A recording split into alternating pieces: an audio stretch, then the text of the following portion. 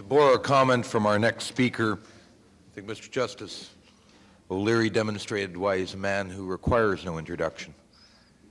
Our next speaker is Honored Judge Borins. His topic, duress.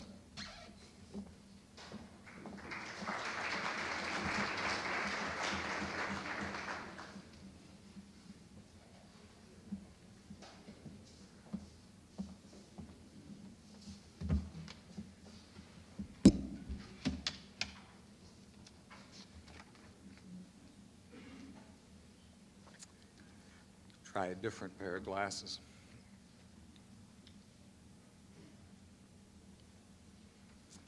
Thanks, uh, Brian.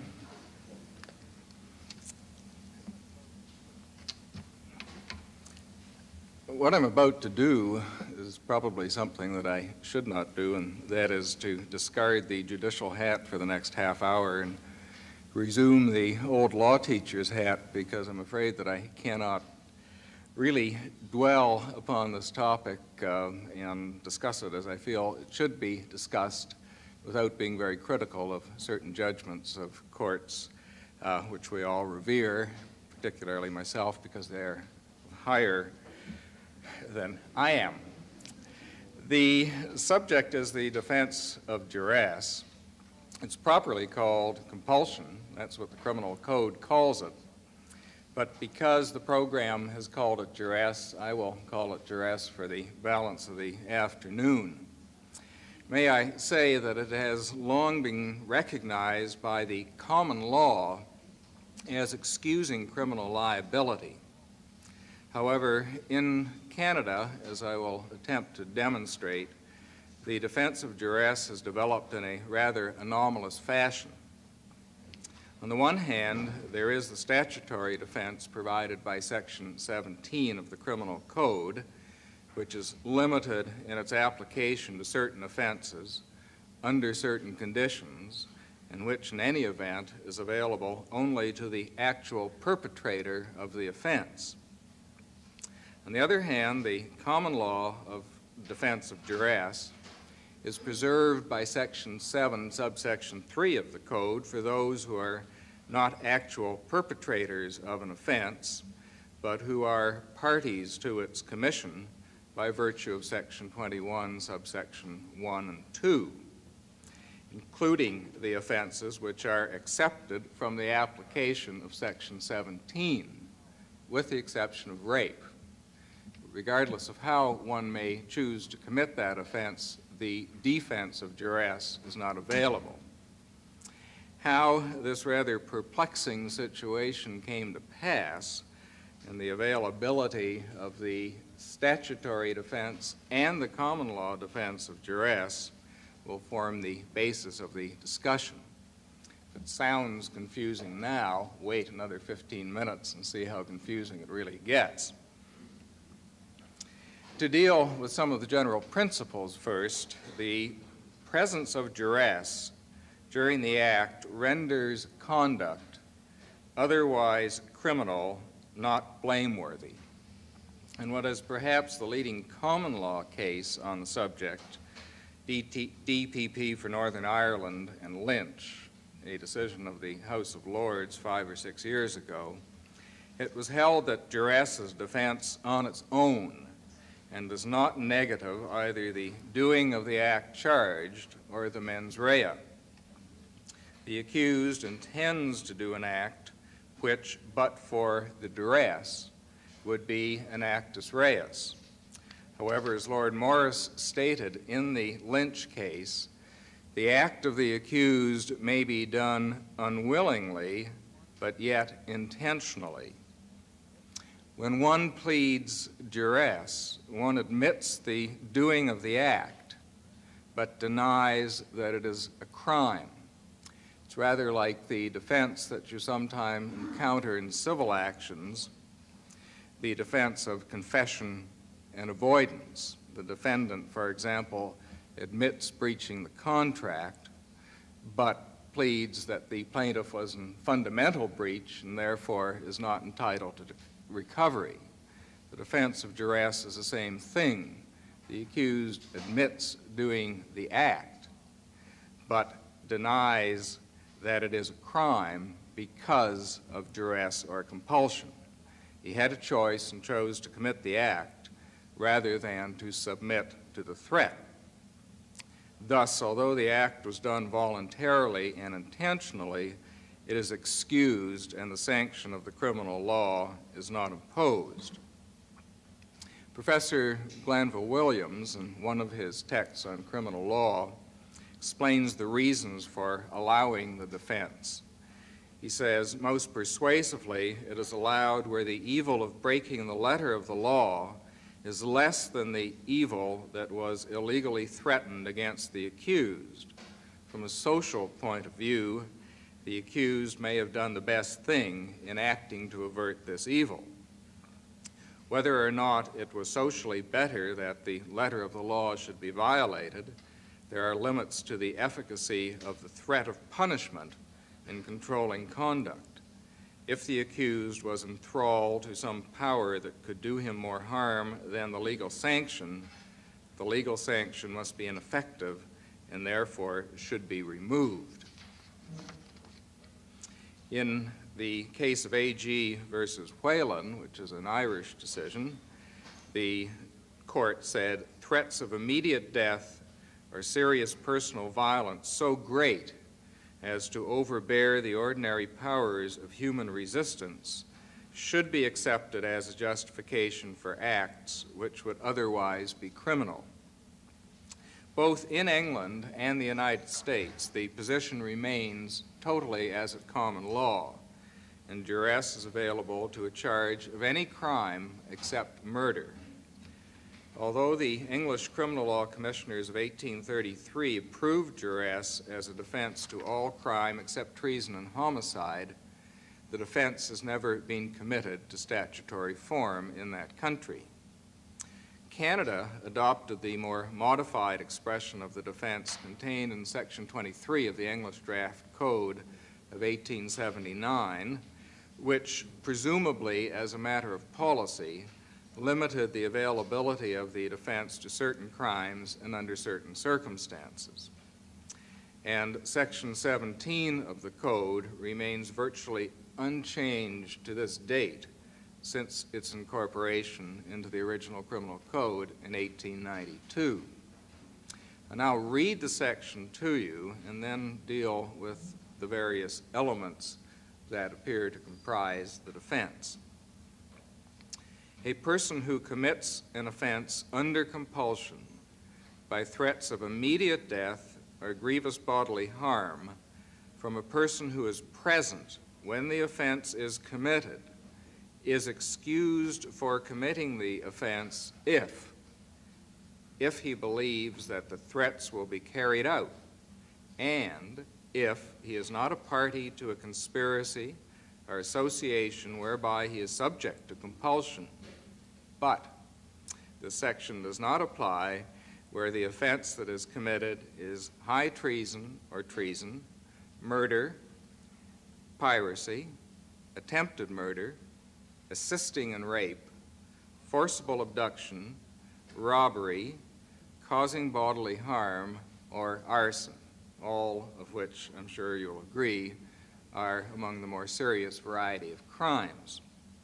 Let's deal then with the various elements that comprise the defense.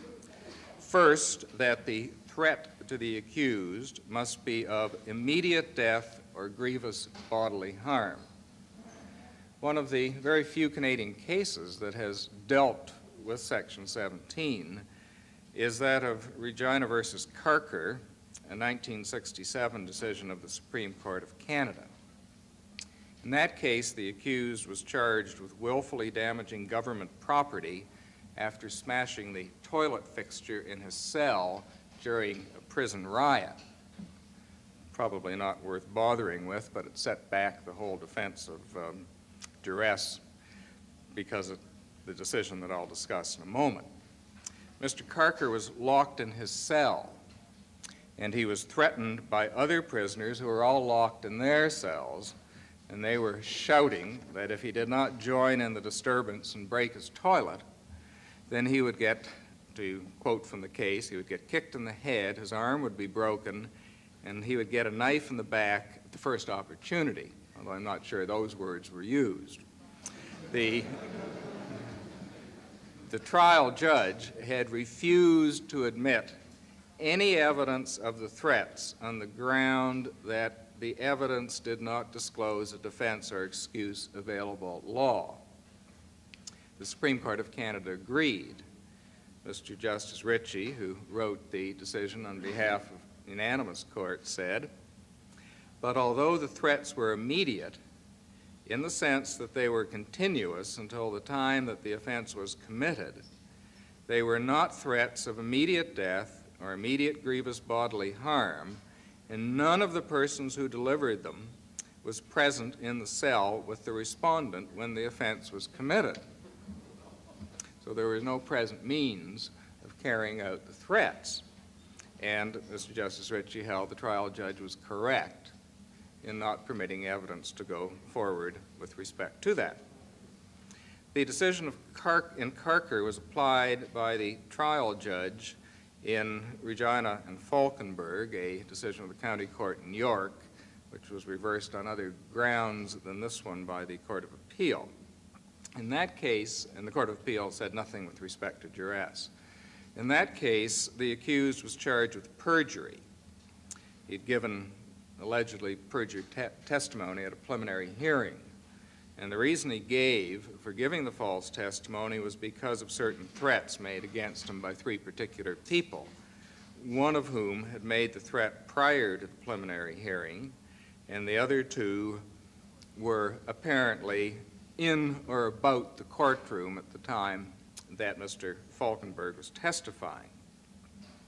In rejecting the defense, Judge Lyons stated, uh, I am satisfied that by no stretch of the imagination can the accused testimony support this defense in the sense that whatever threats there may have been were not of immediate death or grievous bodily harm from a person who was present when the offense was committed.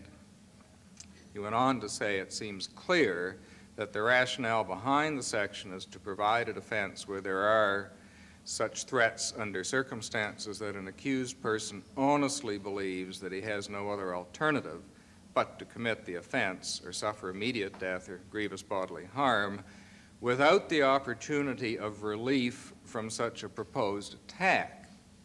This type of situation would be apparent where a person perhaps were at knife point and so on.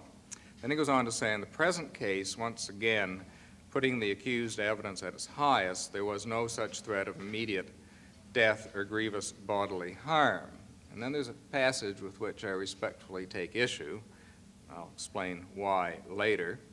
He said the accused indeed was in the court itself when the offense was committed, and he had every opportunity to appeal to official help for protection if indeed such were necessary.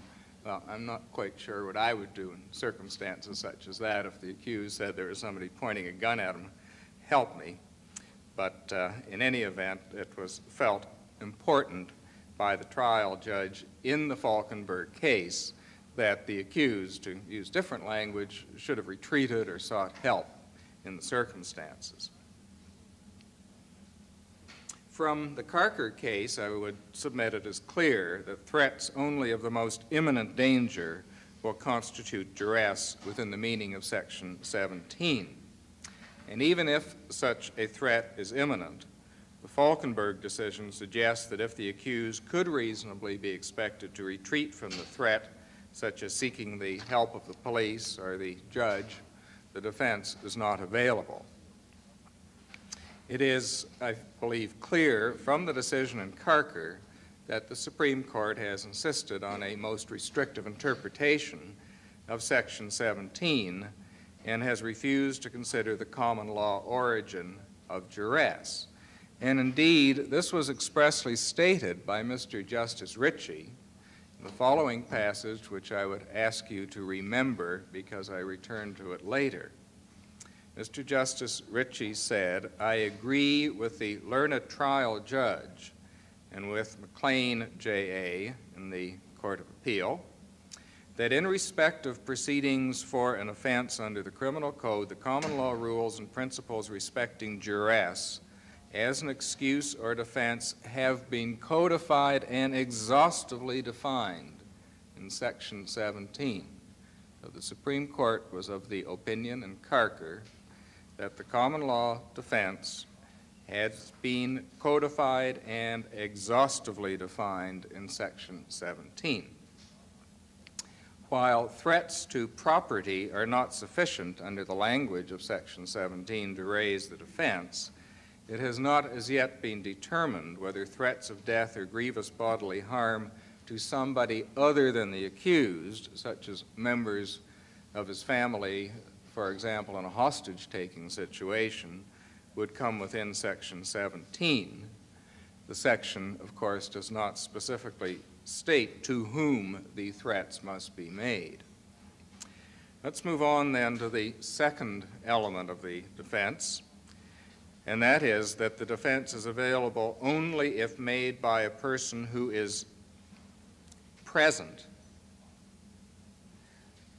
when the offense is committed. Thus, the person who issued the threat must actually be present during the commission of the offense by the accused.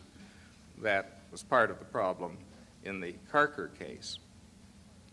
Even if the threats had qualified as immediate in the Carker case, the defense would not have been available as none of the persons who delivered them was present in the cell with the respondent when the offense was committed.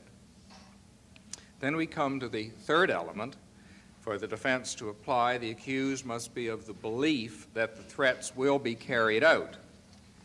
Thus, the section creates a subjective test with respect to whether or not death or grievous bodily harm will follow if the accused does not comply.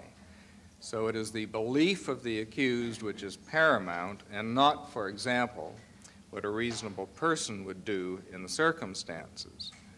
In this regard, I return to the obiter dictum in the Falkenberg case and suggest that it, appear, it would appear to impose an obligation on the accused to retreat from the threat or seek assistance in order to utilize the defense.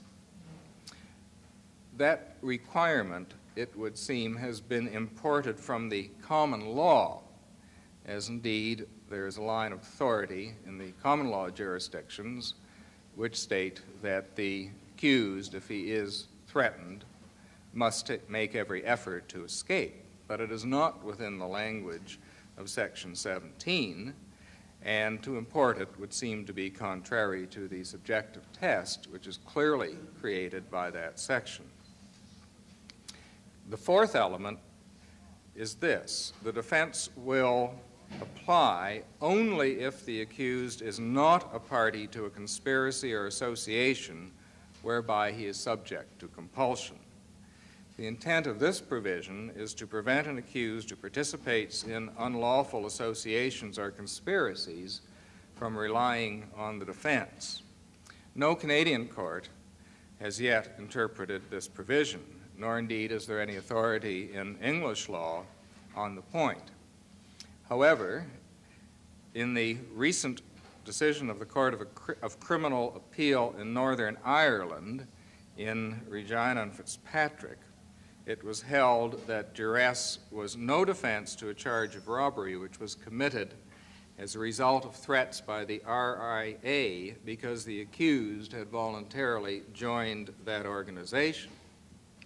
Interestingly, the court found that Section 17 of our criminal code, as well as similar provisions in penal codes in New Zealand, Australia, and elsewhere, to be persuasive evidence of the common law the comments of Lord Chief Justice Lowry, I think, are helpful in interpreting the language in Section 17.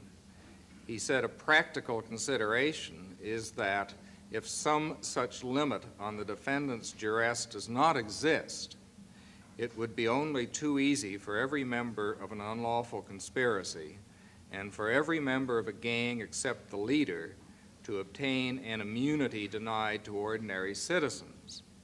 Indeed, the better organized the conspiracy and the more brutal its internal discipline, the surer would be the defense of duress for its members.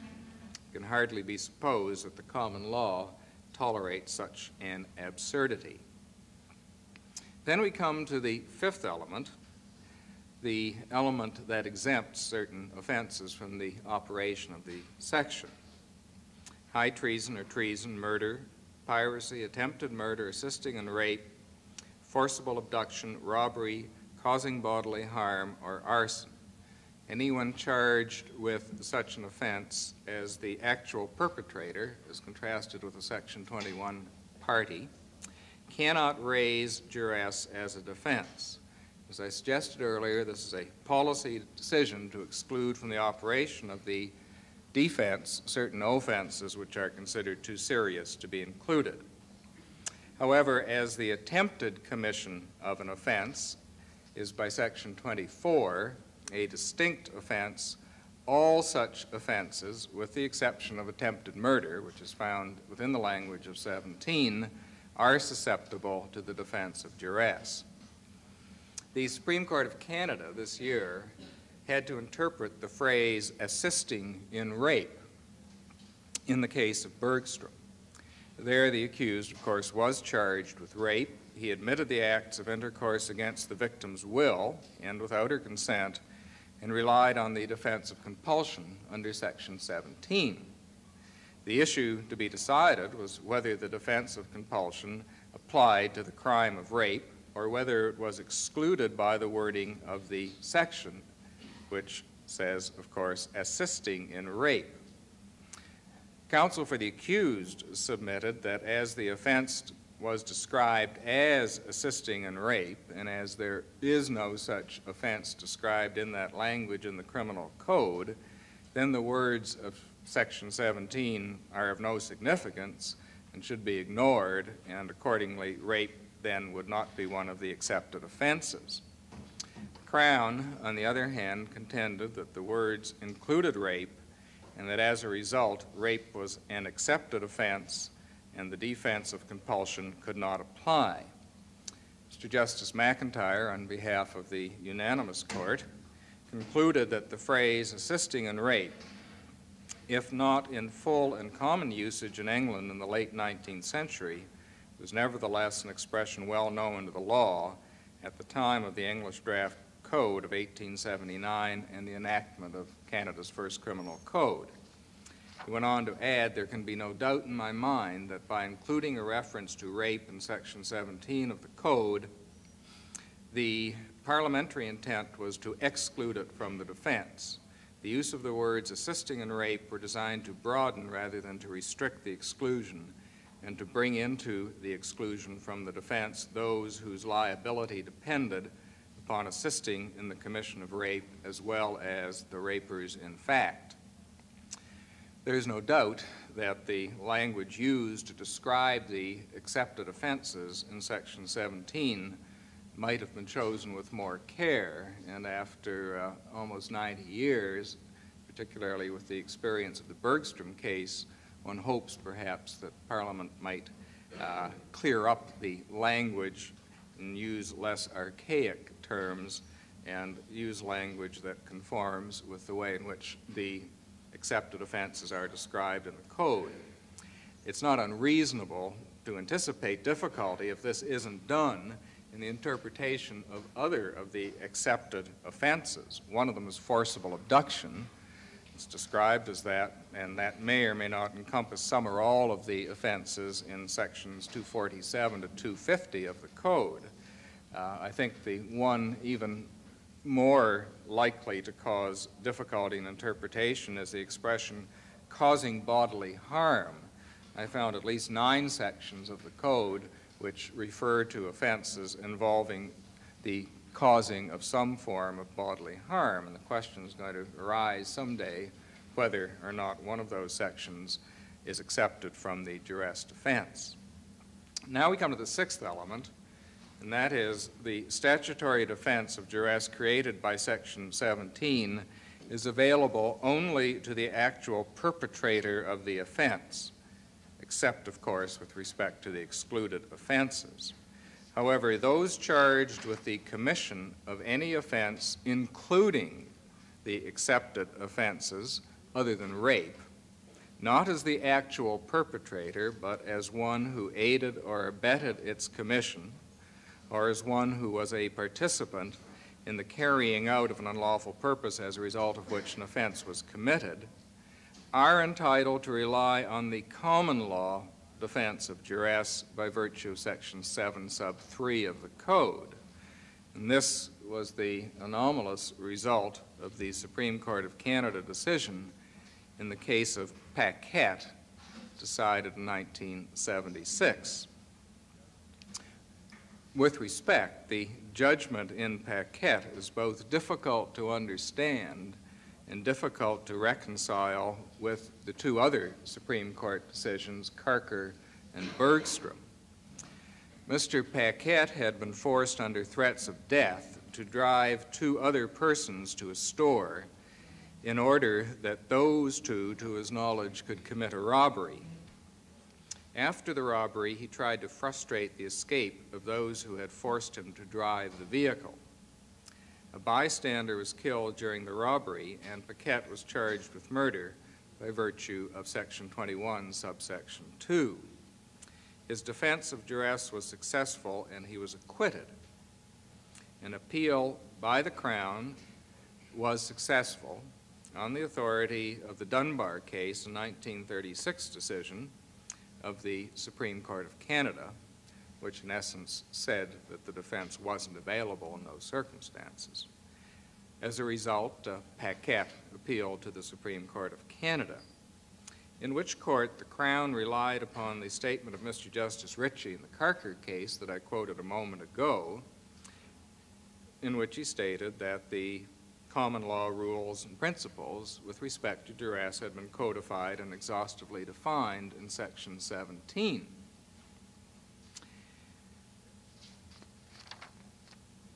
This argument was rejected by Mr. Justice Martland, who delivered the judgment of the unanimous court, many of whom had been on the court when it decided the Carker case, including Mr. Justice Martland after holding that Section 17 is limited to cases in which the person seeking to rely upon it has himself committed an offense, he went on to say, the section uses the specific words, a person who commits an offense. It does not use the words, a person who is a party to an offense. This is significant in the light of the wording of Section 21.1, which in paragraph A makes a person a party to an offense who actually commits it.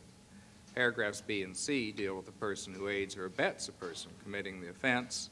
In my opinion, Section 17 codifies the law as to duress as an excuse for the actual commission of a crime, but it does not, by its terms, go beyond that.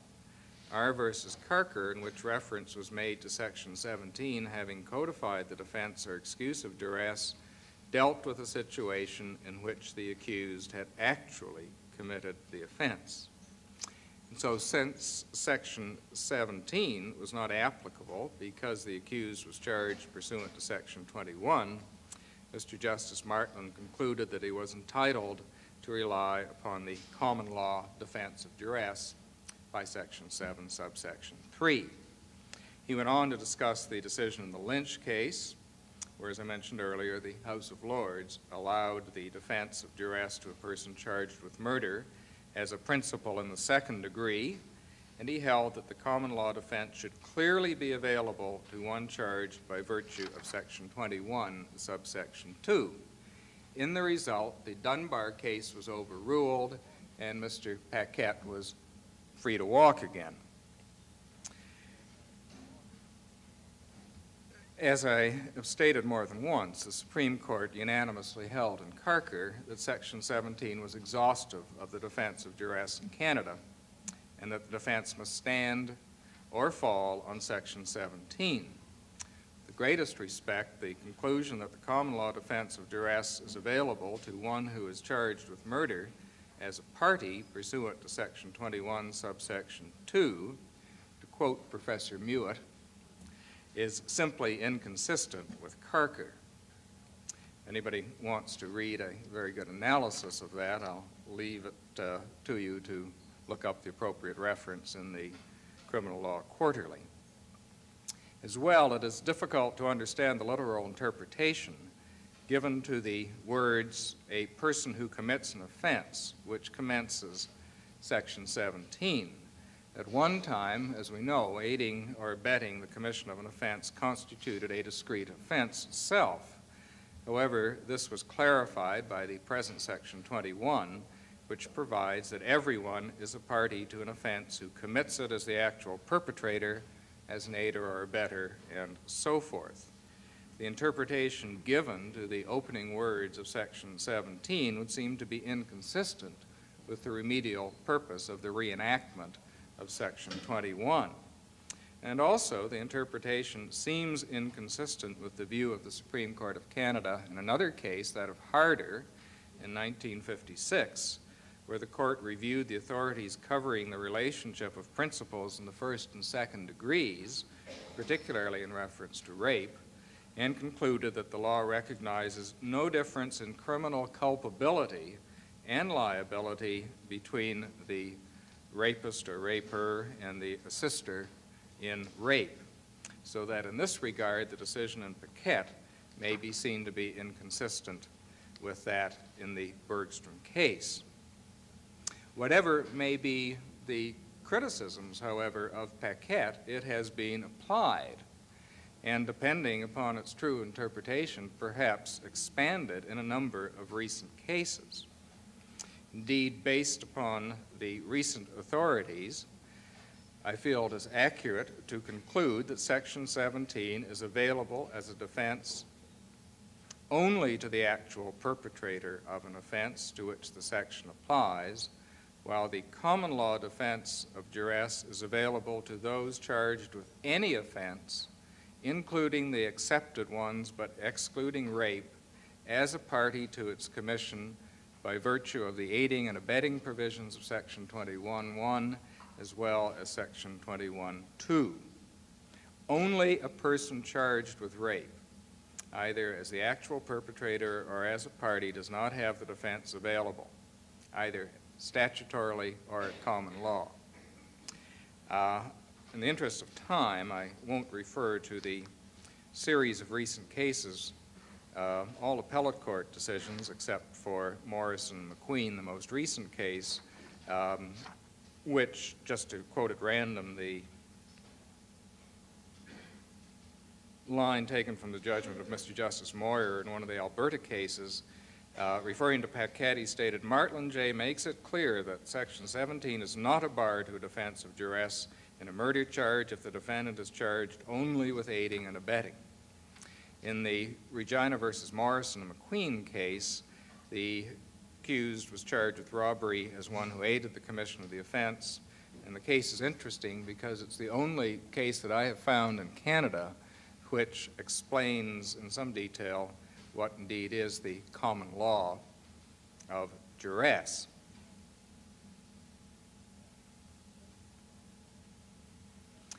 Since the common law defense of duress is available in all cases where a person is charged with a party to an offense, it becomes necessary, of course, to examine the nature of the defense at common law. I covered it in the paper, and I understand that you will be receiving copies of the paper, so I will omit that now, except to make the general comment that the common law defense in its nature is far broader than that created by Section 17. It doesn't have as many restrictions, so that um, there really are two discrete defenses of duress, in my view, available depending on whether one is charged as the perpetrator or as a party to the offense.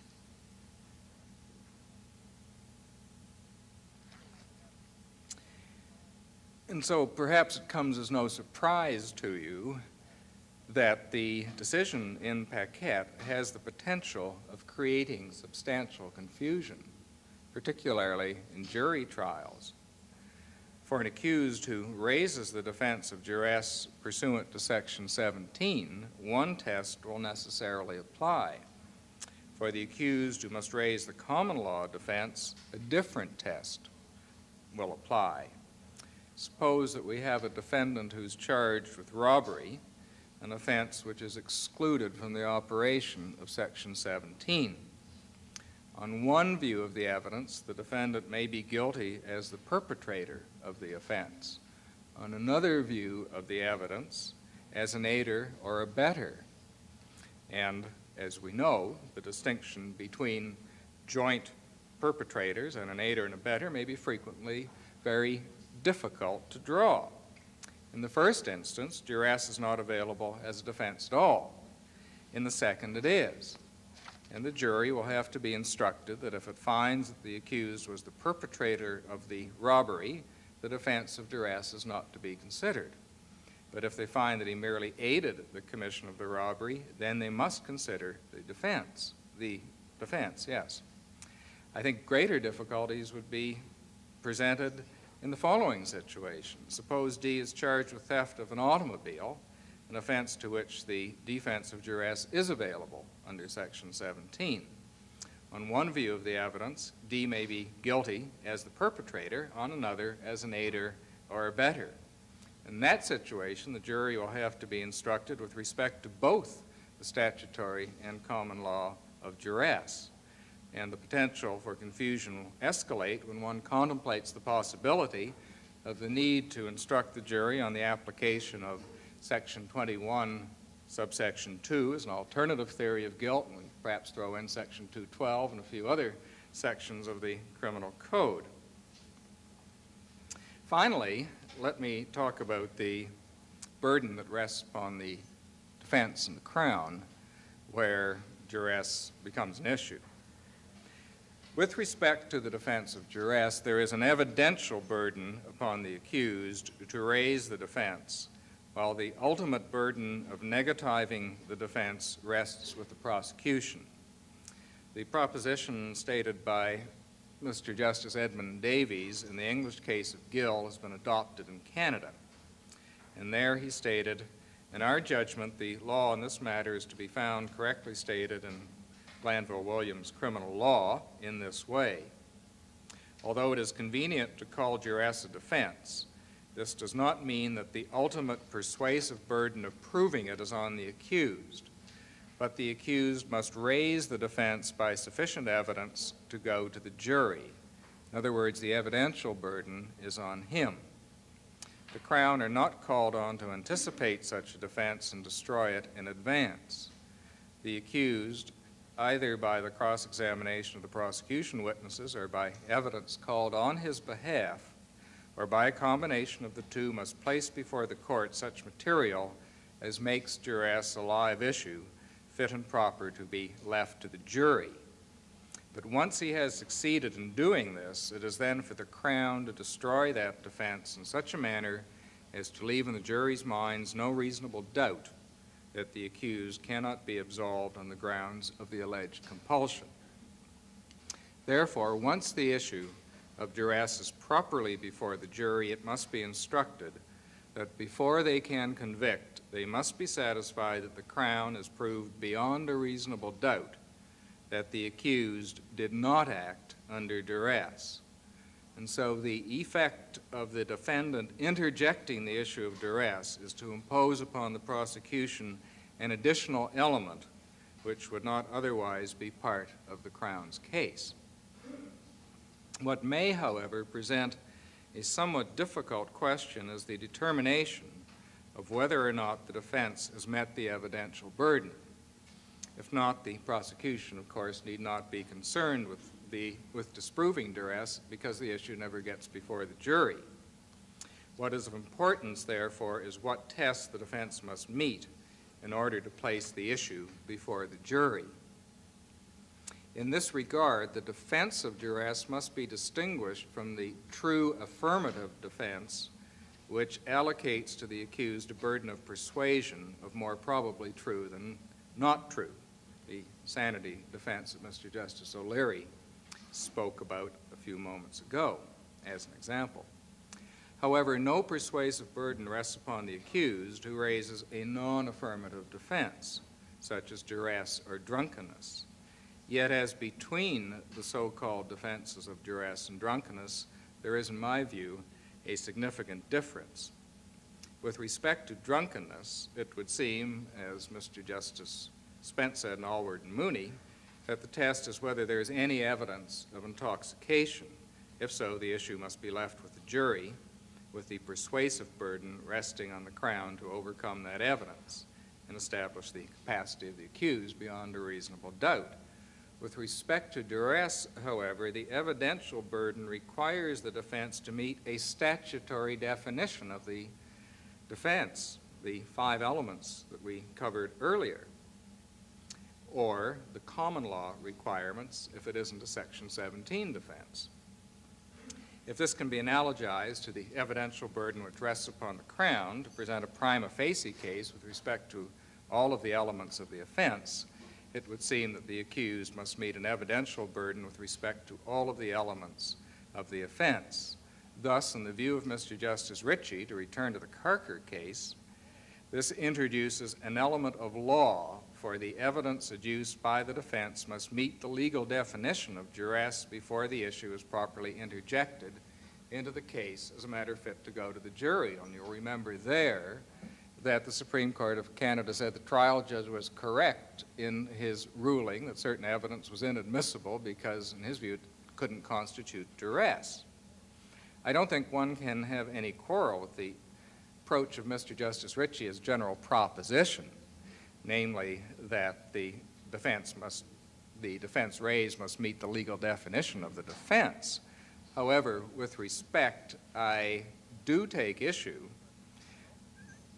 and question the appropriateness of preventing the defense from introducing evidence of duress on the ground that it apparently fails to meet the requirements of the Section 17 characterization of the defense. It would seem that the correct time to determine that issue is when all the evidence has been presented, and the decision must then be made as a matter of law whether duress should be left with the jury. And this decision is made even more difficult when the case is one in which, depending on whatever view one takes of the evidence, is either a statutory defense or a common law defense, which, in my view, highlights the danger of prematurely determining the entire question of the availability of the defense by a ruling as to the admissibility of evidence. To put the matter somewhat differently, since the authorities are clear that the evidential burden rests on the accused, I feel he should be given every opportunity to meet it, and he should be permitted to introduce whatever evidence may be available to raise the defense of duress. It is then for the trial judge to determine at the conclusion of the evidence as a question of law whether the evidence of duress is sufficient to add an additional element to the case for the Crown in that the Crown must negative the effect of duress upon the accused. At this stage, it would seem that the trial judge must consider one or both of these two questions. First, the sufficiency of the evidence, i.e., has the evidential burden been met? And second, assuming the sufficiency of the evidence, does it meet the legal standard appropriate to either or both of the statutory or common law requirements of duress? This, of course, leaves unanswered the test to be applied to determine the sufficiency of the evidence an issue that the Supreme Court of Canada did not have to consider in the Carker case. As I indicated earlier, the Alward Mooney case spoke of any, any evidence with respect to drunkenness.